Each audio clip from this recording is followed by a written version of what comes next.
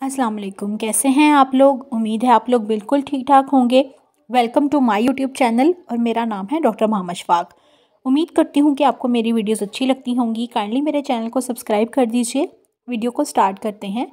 जैसा कि हम पहले बहुत सारी दवाइयों पर बात कर चुके हैं, इसी तरह आज हम अपनी एक नई दवाई के ऊपर, नई मेडिसिन के ऊपर, नए फार्मूला के ऊपर बात करेंगे। आज की जो हमारी मेडिसिन है, वो है एलर्जी की मेडिसिन जिसका नाम है, जिसका अगर आप सॉल्ट की बात करें या जेनेरिक नेम की बात करें या फार्मूला की बात करें तो वो है सिट्रीजीन सिट्रीजीन क्यों इस्तेमाल होती है? इसका क्या काम है? किन लोगों, कौन से मरीज़ इसको इस्तेमाल कर सकते हैं और कितनी दफ़ा इस्तेमाल कर सकते हैं? और क्या क्या इसके साइड इफ़ेक्ट्स होते हैं? आज हम इसी पे बात करेंगे। सिट्रीजीन वो दवाई होती है जो कि एलर्जी वाले मरीज़ इस्तेमाल कर सकते हैं, जिनको नाक बह रही है, छींकें आ रही हैं, बहुत ज़्यादा ठंड लग गई है। इस तरह के जो मरीज़ होते हैं और उनको बहुत ज़्यादा छींकें और ऐसे महसूस होता है जैसे नाक में कुछ इरिटेशन सी हो रही है या फिर आँखों में कोई जलन हो रही है या इरिटेशन हो रही है बॉडी पे दाने बने हुए हैं, खारिश आ रही है।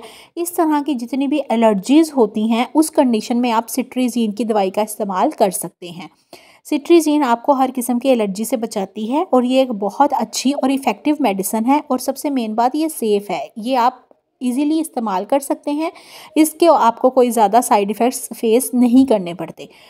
अब हम देख लेते हैं कि इसको आपने कब लेना है और किस तरह से लेना है। सिट्रीजीन का इस्तेमाल आपने कोशिश करनी है, सिर्फ़ तभी करें जब आपने रेस्ट करना हो, क्योंकि सिट्रीजीन खाने से आपको नींद आ सकती है, इसमें नींद होती है थोड़ी सी तो आपने ड्राइविंग और ये जो कोई भी मशीन चलाना तो खाने के बाद आपने कोशिश करनी है कि थोड़ा रेस्ट करना है, कोई ड्राइविंग वगैरह नहीं करनी, क्योंकि इसमें आप थोड़ी सी नींद होती है।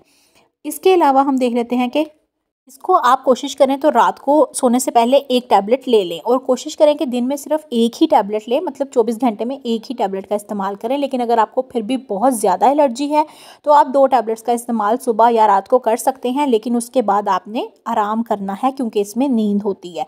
इसके बाद हम देख लेते हैं कि इसके कुछ साइड इफ़ेक्ट्स हैं। कुछ ज़्यादा साइड इफ़ेक्ट्स तो नहीं हैं हाँ लेकिन आपको ये होगा कि आपको ड्राई आपका जो माउथ है वो आपको ऐसे लगेगा जैसे खुश्क सा बहुत ज़्यादा हो गया है। स्टमक इरिटेशन थोड़ी बहुत हो सकती है आपको। अगर आप इसका ज़्यादा इस्तेमाल करते हैं तो आपको बहुत ज़्यादा गनूदगी महसूस हो सकती है क्योंकि इसमें नींद होती है। तो इसका इस्तेमाल आपने कम से कम करना है। सिर्फ़ एलर्जी अगर बहुत ज़्यादा है तो उसी कंडीशन में करना है। और अगर ऐसा मौसम चल रहा है जिसमें पोलन वगैरह ये जो कटाई का मौसम होता है, फ़सलों की कटाई का या डस्ट बहुत ज़्यादा है जिन लोगों को, वो इसका इस्तेमाल कर सकते हैं जब उनको एलर्जी हो।